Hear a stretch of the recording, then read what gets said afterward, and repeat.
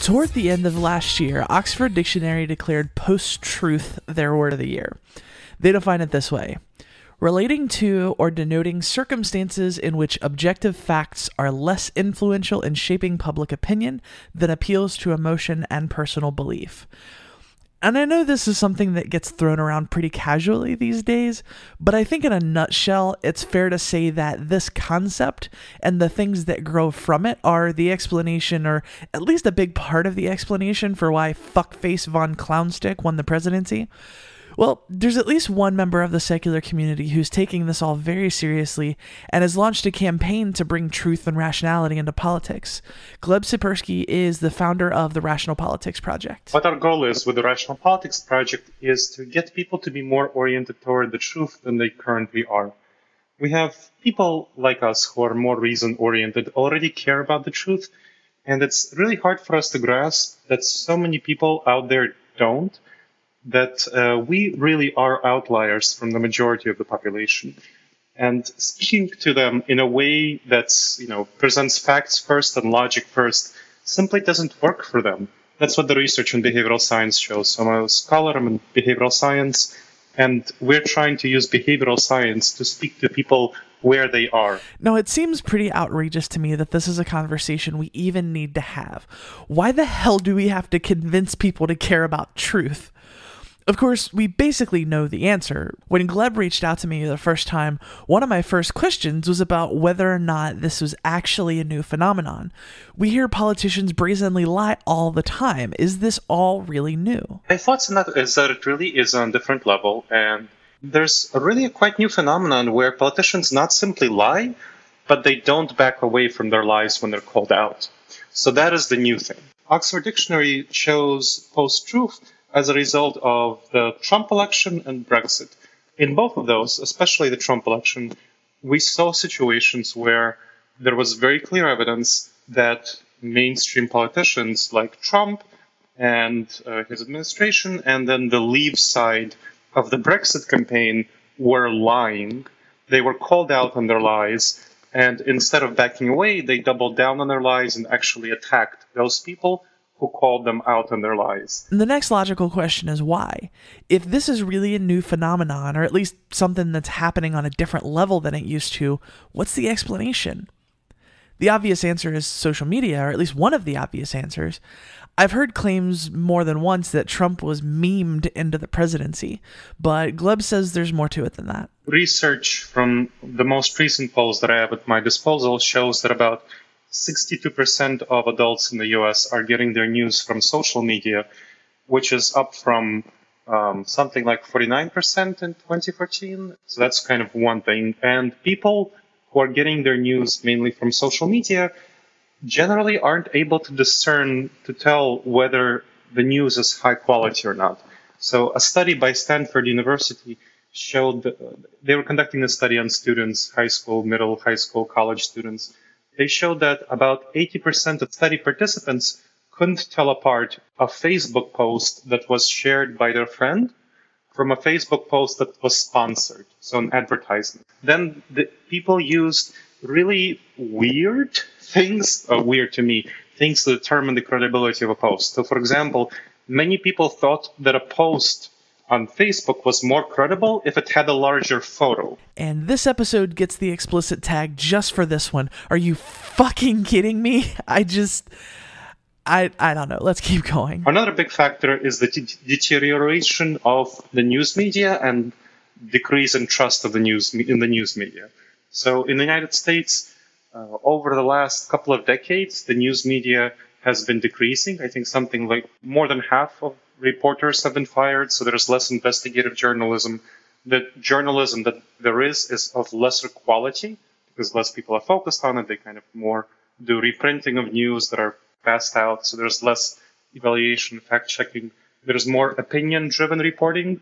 People want to hear opinions and they gravitate to sources that are opinion based, which is one reason why Fox News is so popular and MSNBC News is becoming more popular, as well as lack of trust in the media due to political actions. So Trump has been notorious for attacking the media. From 2015 to 2016, trust among Republicans in the media has dropped by more than half. It was in the mid 30s, now it's in the teens. At this point, I'm still kind of fixated on why. I mean, we've explained the mechanism, how it works in practice, but why does this work? Why is all of this post truth stuff effective? We don't have edu- education on how to evaluate information, especially on social media. So the traditional means of getting information to people has been through vetted sources like newspapers and TV, which have reasons due to their credibility and ethical standards to report news accurately. So people didn't really need that much education in how to evaluate the media. Now, it, I would certainly have liked people to have information. There are certain systematic problems with the reporting of news due to news ownership. Now, when there was the transition to social media and you know 62% of the population getting their information from social media, not only, but you know, at least some of their information. Mm-hmm. There's no control on social media. There's no vetting of sources on social media. And as we can see from these studies from Stanford University, people really can't tell what's a sponsored post and what's not sponsored post. They can't tell what's a good po- thing and what's not a good thing. Okay, so we've done a pretty good examination of the problem. My next question is how do we solve it? What are the practical ways we can take this information and make things better? Gleb had a great example of this.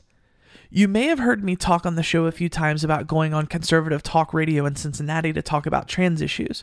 One of the hosts I've been on with is named Scott Sloan. He's a pretty moderate Republican, and as moderate Republicans go, he seems to be a halfway reasonable guy.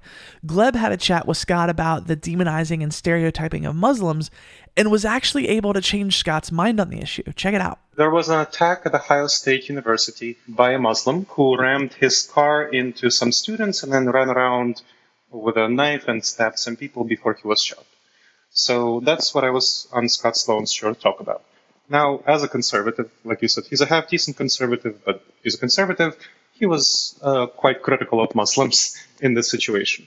And so I talked to him about this, and I didn't say, you know, you shouldn't be critical of Muslims. That's not about, you know, that's not just, that's not fair, that's not civil rights.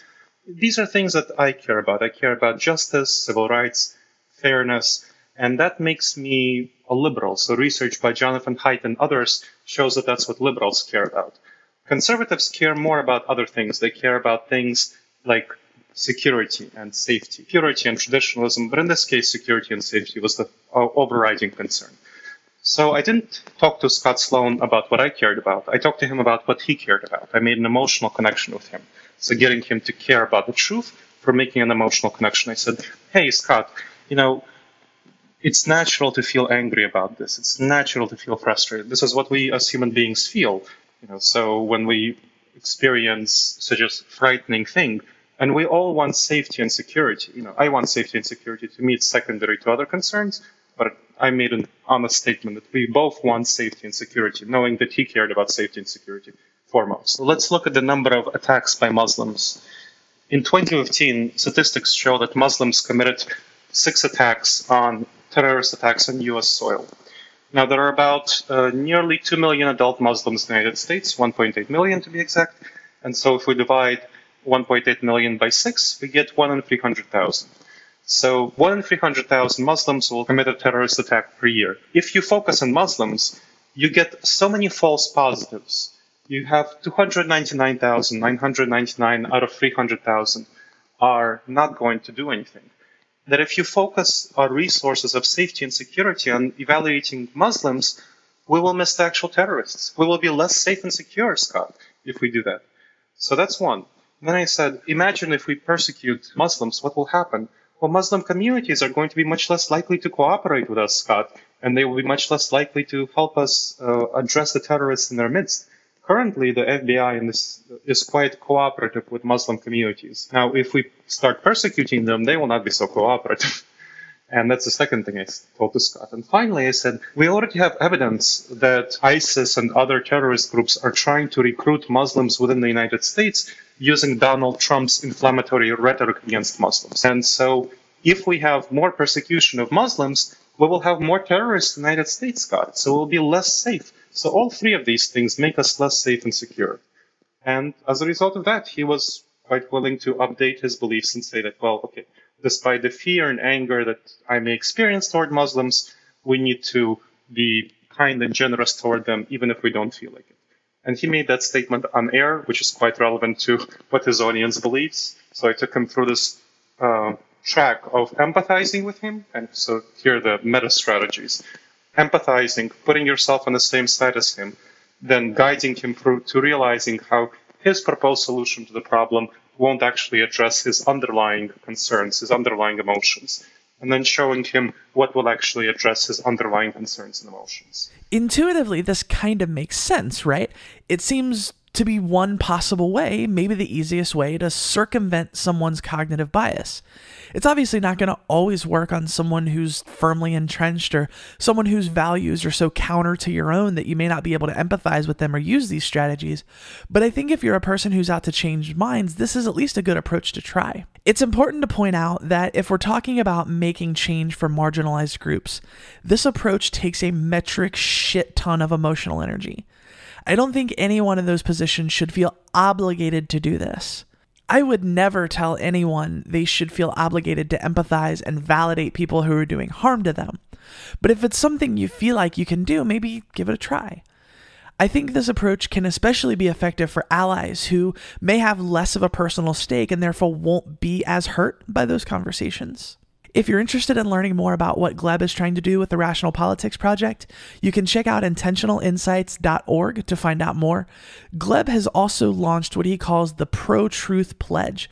It's a pledge you can take that affirms your commitment to truth in politics and discourse.